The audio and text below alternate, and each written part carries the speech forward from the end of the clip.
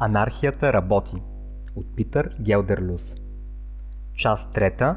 Икономика. Как ще се осъществява размяната на стоки и услуги?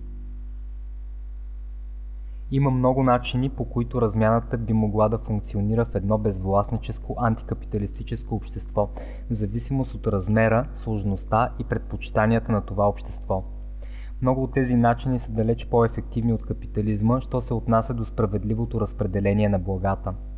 Капитализмът е създал неравенство по отношение достъпа до ресурси, което надминава всяка друга форма на обществено устройство в човешката история. Но принципите на капитализма, които економистите представят на обществото като природни закони, не са универсални. Много общества традиционно са практикували различни варианти на тъй наречената економика на даровете – в общности с скромно равнище на социална стратификация, по-богатите семейства поддържат статута си чрез правене на подаръци, организиране на разточителни празненства и раздаване на богатствата си. В някои случаи подобни семейства рискуват да си навлекат гнева на останалите членове на общността, ако не са достатъчно щедри.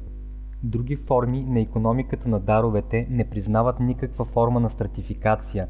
Дори при тях членовете на общността просто се отказват от понятието за собственост и раздават и консумират свободно благата, които цялата общност произвежда.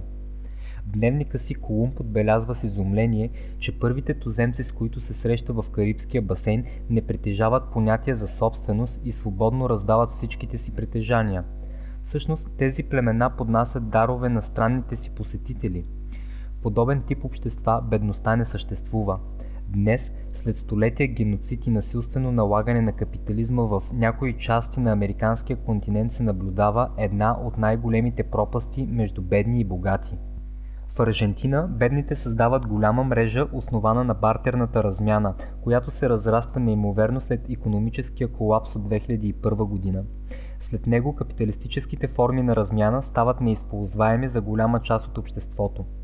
От малки по мащаб срещи за обмяна на необходими продукти, тази система еволюира в мрежа с над 3 милиона члена, които активно си разменят продукти и услуги, простиращи се от ръчно изработени предмети за бита и украшения, през дрехи и храна до езикови уроци. Сред участниците се наблюдават дори лекари, индустриалци и собственици на железопътни линии. Според проучванията, над 10 милиона човека са участвали в подобна бартерна размяна по времето, когато мрежата е на върха на популярността си. Бартерната мрежа улеснява размяната, като разработва система на альтернативна валута – с разширяването на мрежата и задълбочаването на економическата криза, мрежата започва да се изправя пред редица проблеми, включително кражби и подправяне на валутата, най-често извършвани от хора, които не са били част от мрежата. Няколко години по-късно, когато економиката започва да се стабилизира при управлението на президент Киршнер, Бартерната мрежа се свива, но все пак запазва впечатляващо количество членове на фона на факта, че представлява альтернативен економически модел в държава, която доскоро е била модел на неолибералния капитализъм. Вместо да се откажат, членовете на мрежата разработват различни решения на проблемите, с които са се сблъсквали през годините, като например ограничаването на членството в мрежата до хора, които произвеждат стоки и услуги – така мрежата се използва само от хора, които допринасят за нея. Съвременните анархисти в Съвременните анархисти в Европа и САЩ експериментират с други форми на разпределение, които отиват отвъд размяната. Един такъв популярен анархистски проект е тъй наречения свободен магазин.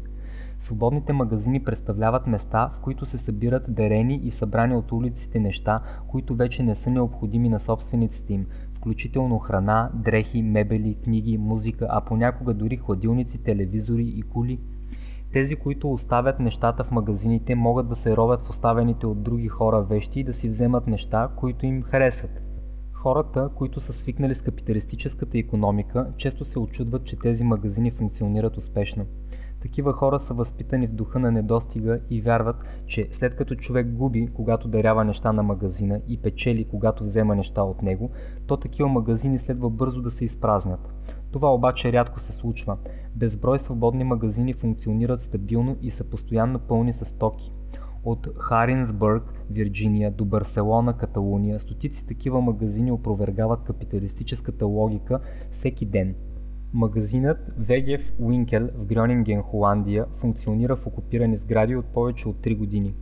Вратите му се отварят два пъти седмично, за да раздават дрехи, книги, мебели и други неща. Други свободни магазини устройват събирания на средства, ако се помещават в сгради, за които е необходимо да се плаща найем. Очевидно този проблем не би съществувал в едно анархистско общество. Свободните магазини са важен ресурс за бедните хора, на които е отказано правото на труд от капризите на свободния пазар или които имат работа или две или три, но въпреки това не могат да си позволят да купят нови дрехи на децата си. По-високо технологичен пример за свободна обмяна е относително известната и изключително успешна мрежа FreeCycle. FreeCycle е глобална мрежа, първоначално създадена от екологична организация с идеална цел – Идеята на мрежата е да популяризира даряването на предмети вместо изхвърлянето им на буклука. В момента на писане на тази книга FreeCycle има над 4 милиона члена, организирани в 4200 локални подразделения в повече от 50 държави. FreeCycle използват вебсайтове, за да свързват хора, които имат нужда от определени неща, с такива, които имат намерение да даряват подобни и благодарение на тази система изумително количество от стоки остава в обращение, вместо да се намери на бонището, включително дрехи, мебели, играчки, произведения на изкуството, инструменти, велосипеди, автомобили и много други. Едно от правилата на мрежата е, че всяко нещо, което хората предлагат в сайтовете, трябва да е напълно безплатно. За него не могат да се искат пари и или да се разменя срещу други вещи. FreeCycle не е централизирана организация, локалните организации се самоорганизират на базата на общия модел и използват вебсайтовете, на които е базиран този модел. Въпреки всичко, може да очакваме, че FreeCycle ще има известни проблеми, защото произлиза от либералните среди, за които не са характерни както революционните аспирации, така и критичната позиция спрямо капитализма и държавата. Например, FreeCycle приема спонсорството на голяма корпорация, занимаваща се с рециклиране и пуска реклами на сайтовете си.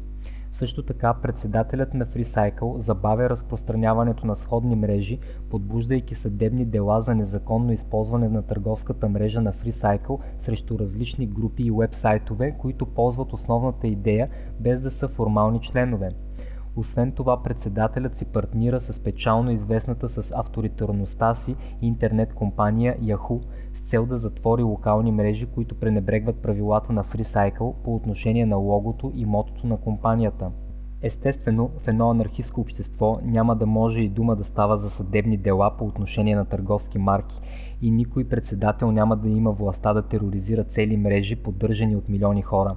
Междувременно FreeCycle показва как економиката на даровете може да функционира дори в измъчените индивидуалистични западни общества и как тази альтернативна економика може да приема нови форми с помощта на интернет.